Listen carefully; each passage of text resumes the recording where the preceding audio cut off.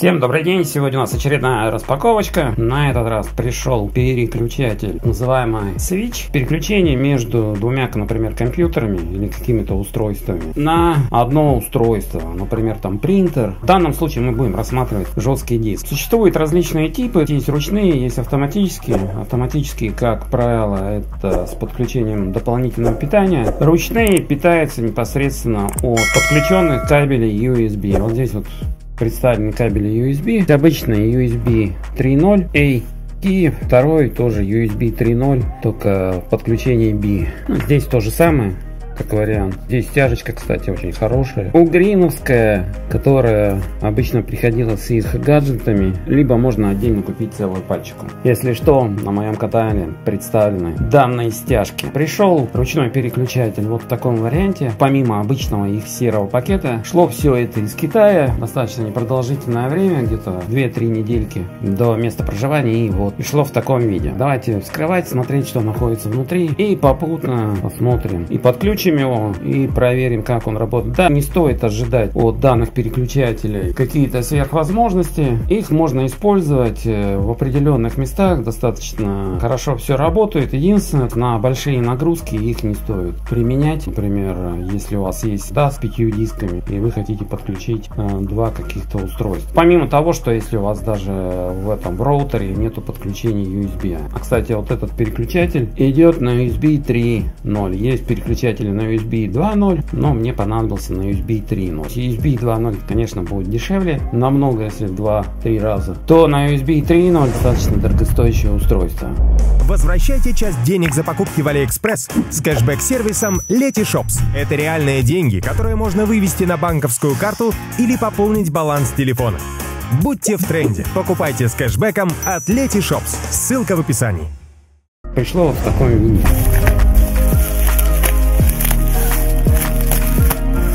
Вот такая вот упаковка. Причем вот здесь показано USB 2.0. Похоже, крышка у них одинаковая. Вот здесь тоже USB 2.0. Но приобретался USB 3.0. Причем на 2.4 порта, или это просто как реклама идет, то, что они могут делать. А USB 3.0 похоже вот на именно вот такой вариант. Подключение идет по USB B, ну, а выход USB A на одно устройство, двух устройств. Внутри находится инструкция на английском, китайских языках стандартная. И вот данное устройство, то есть две кнопки, две линии и одна исходящая линия. Две входящих линии и одна исходящая. И первая линия включаете, и вторая линия включаете. Причем даже это, она, во-первых, заляпывается, уже видно, ввиду того, что глянцевая поверхность у вас. Плюс то, что, вернее, не досказал, то здесь вот как видим. Сам корпус используется от USB 2.0, он даже вот здесь вот написано 2.0, причем авто. Ну а здесь вот ручное переключение. Здесь даже написано, что совместимо с 1.1 и 2.0. Ну, старшая версия всегда совместима с младшими версиями USB. Вот такой вот переключатель ручной. Сейчас давайте мы это все дело проверим при помощи двух компьютеров и посмотрим, как переключается между ними жесткий диск. Хотя на место жесткого диска может быть и принтер. Давайте подключать и смотрим.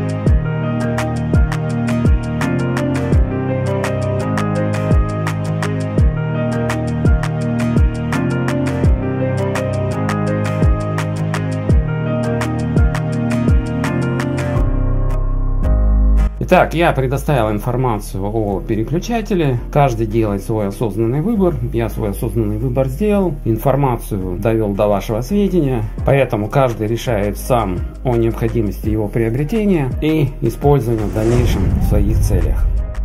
Всем спасибо за внимание. Кому это было полезно, всем удачных покупок распаковок. До следующего видео и до свидания.